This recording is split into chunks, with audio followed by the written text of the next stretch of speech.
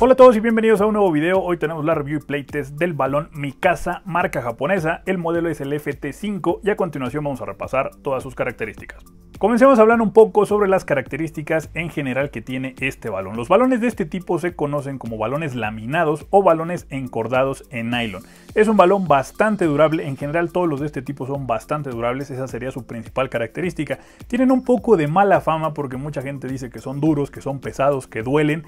Duelen cuando te dan un balonazo, realmente un balonazo en la espalda, en el muslo, en la cara te queda el dolorcito bastante, bastante tiempo, pero en el golpeo la verdad que son bastante, bastante agradables y yo diría que son una excelente opción de compra, sobre todo si tú buscas un balón durable.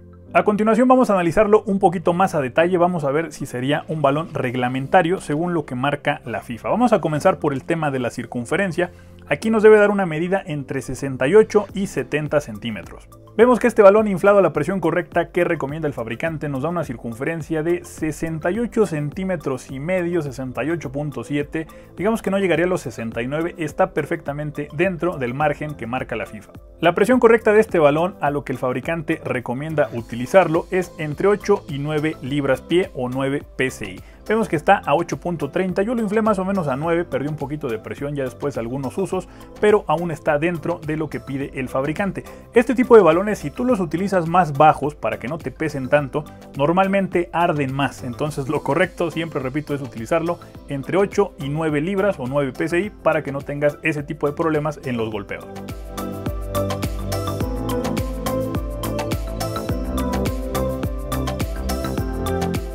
Para todos los que dicen que este balón es pesado, que es un balón eh, para hombres, dicen muchos que este pesa más que los balones actuales, pues ya pueden ver ustedes un balón termosellado de la marca Puma Official Matchball FIFA Quality Pro, 441 gramos, así que pues no hay comparación, repito, todos esos son mitos, los balones profesionales pesan habitualmente más de lo que pesan estos balones encordados en nylon.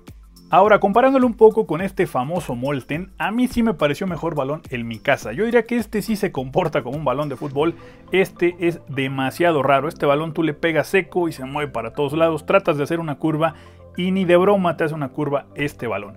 En términos generales me parece más durable, mejor construido, más agradable es un balón con mejor desempeño en vuelo, así que yo lo considero una mejor opción de compra. A mí este balón mi casa realmente me gustó bastante, se me hace muy muy bonito, es un balón que yo tendría perfectamente ahí acomodado en un librerito, bien limpiecito simplemente para lucirlo, realmente estéticamente me parece un decorado, un acabado genial el que tiene.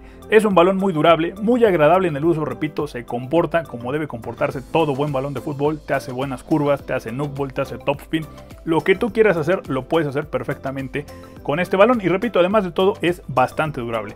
Muy agradable en el uso, pese a que no tiene tanto acolchado, es un balón con el que sí te van a doler los balonazos, sobre todo si te dan en la espalda, te vas a acordar de este balón seguramente toda tu vida, pero es un balón muy muy bueno, repito, a mí la verdad me gustó bastante, yo lo recomendaría mucho, y para todos los que dicen que es pesado, que el balón duele, que el balón cuesta levantarlo, que es una piedra, yo creo que simplemente es mala técnica de golpeo, pónganse un poquito a practicar y este balón les va a encantar, así que espero que les haya gustado y nos vemos en otro video.